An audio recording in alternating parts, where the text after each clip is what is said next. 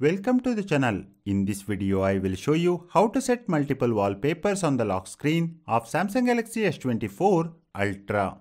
Let's get started. To begin, go to the lock screen. Long press anywhere on the screen in the empty area.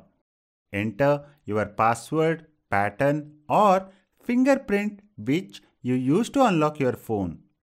This will take you to a page where you can choose your lock screen wallpaper.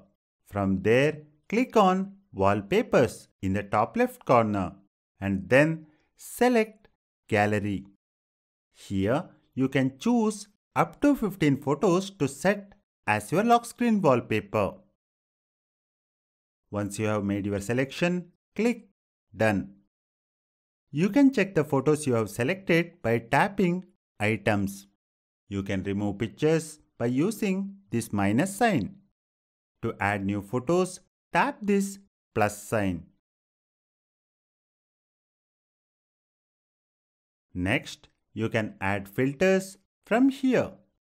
There are a couple of options you can try. Once all customization is over, tap Done. That's it. In the future, whenever you lock and unlock your Galaxy S24 Ultra, you will see different wallpapers on the lock screen. That's it for this video on how to set multiple wallpapers on the lock screen of Samsung Galaxy S24 Ultra. Thank you for watching this video. Please subscribe to the channel if you find this video informative.